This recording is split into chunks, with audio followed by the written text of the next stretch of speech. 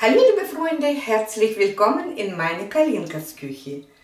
Heute brauche ich beim Kochen eine vegane Sahne. Und dann habe ich gedacht, okay, wenn ich muss sowieso das jetzt machen, dann werde ich auch gleich ein Video für euch machen und zeigen, wie kann man so eine Sahne machen mit Nüsse, mit diese Cashernüsse oder mit Haferflocken, äh, diese grobe, ganze Haferflocken. Und das werden wir jetzt machen. Ich mache meine Kamera nach unten, dass ihr alles besser sieht und dann geht es los. Wie gesagt, ich werde zwei Sorten von der Sahne machen, mit den Haferflocken und mit den Nüssen. Äh, bevor wir jetzt äh, mit den Nüssen anfangen, werde ich erstmal die Haferflocken einweichen. Die braucht man so für 10-20 Minuten einweichen oder kann man auch über Nacht. Von dem gesamten Wasser nehme ich, so dass die im Wasser stehen und stelle an die Seite. Dafür brauchen wir noch Salz und etwas von Öl. Für die Kichernüsse-Sahne müssen wir Nüsse unbedingt über Nacht einweichen. Jetzt sind die schön weich, gießen wir die komplette Wasser ab und geben wir jetzt diese aufgeweichten Nüsse in unseren Mixer.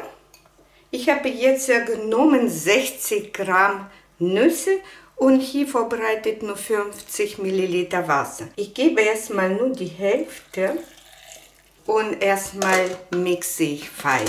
Es kann man die Konsistenz von der Sahne dann selber bestimmen.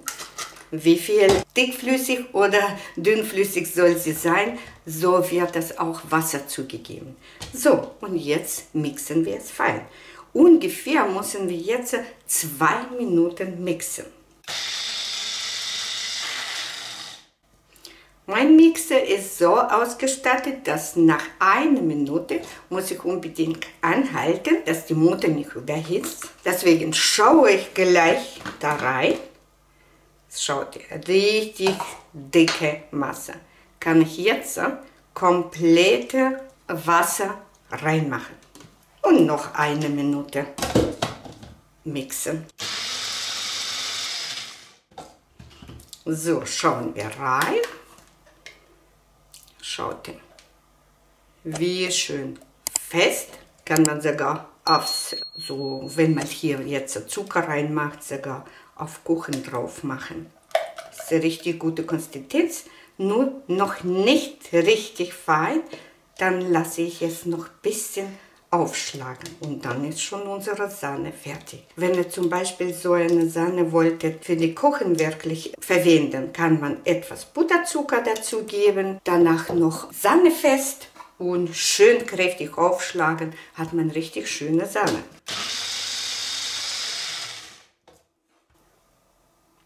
Schaut, richtig schöne Sahne. Probieren. Ja, ja, jetzt ist hier absolut kein Geschmack, aber ich gebe jetzt noch ein bisschen Puderzucker dazu und schlage ich auf und dann kann ich zum Kaffeezeit uns Pan Pancakes machen und dazu aufessen. Nehme nur ein Esslöffel, das wird dann schon reichen. Und ein paar Tropfen Orangenöl fürs Geschmack. So, nochmal kurz aufschlagen und fertig unsere Sahne. Mmh, duftet herrlich. Die Sahne fest werde ich nicht machen, weil ich will nicht für den Kuchen es machen oder für Dekor, sondern wirklich als Dessert-Sahne. Kann man auch auf Eis sogar die drauf machen. So schaut ihr, liebe Freunde so eine Sahne. Wenn ihr keine Zucker dazu nehmt, kann man auch zum Kochen verwenden, zum Beispiel für die Suppe.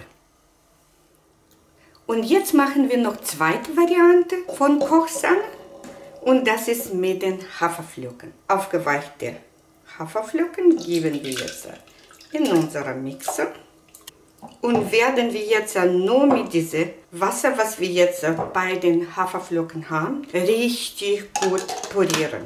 Es kommt natürlich nach der Stärke von eurem Mixer. Es kann bis zwei Minuten dauern, dass wir so etwas cremiger bekommen. So, nach einer Minute schauen wir noch mal rein, wie es aussieht. Geben wir etwas Salz. So ungefähr ein Drittel von den Teelöffel gebe ich und kann auch schon noch das restliche Wasser dazu geben und nochmal richtig schön mixen. So, schauen wir nochmal rein.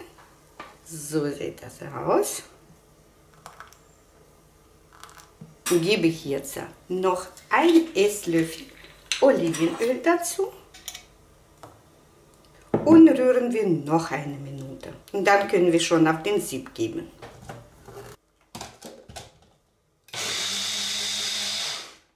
So, fertig.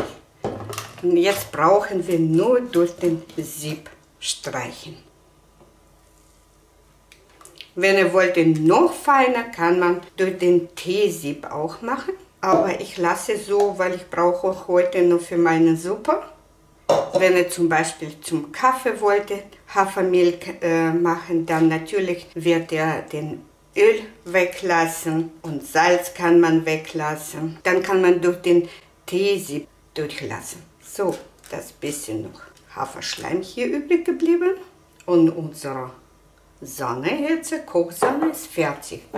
Kann man die auch in die Flasche oder in Glas machen oder wenn ich zum Beispiel heute brauche es, naja, alles brauche ich nicht, dann kann ich gleich auch in die Schälchen lassen.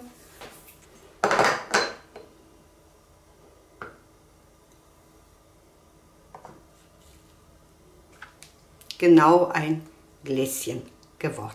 Und das kann man schön jetzt bei den Suppe zubereiten, das als Kochsahne nehmen. So, liebe Freunde, sind wir heute wieder mal fertig.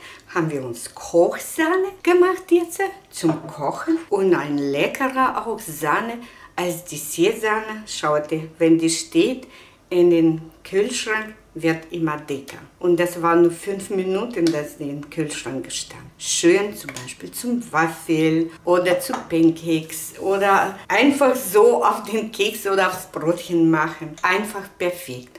Und außerdem auch sehr gesund. So, liebe Freunde, ich wünsche euch viel Spaß beim Nachmachen. Ich würde mich sehr freuen über eure Kommentare, wenn ihr das ausprobiert. Wie hat es euch gefallen? Wie hat es euch geschmeckt? Und eigentlich, Zubereitung ist total simpel. Ich wünsche euch alles Gute, liebe Freunde, und bis zum nächsten Mal. Tschüss!